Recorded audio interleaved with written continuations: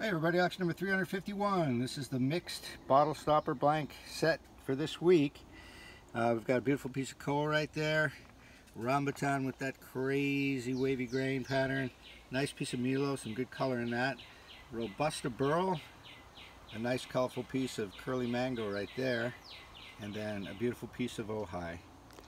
So let's get dimensions. So combined heights, I've got six and five eighths. Well, actually that's six and six and three quarters. These they come in at uh, six and three eighths, and these are uh, six and five eighths.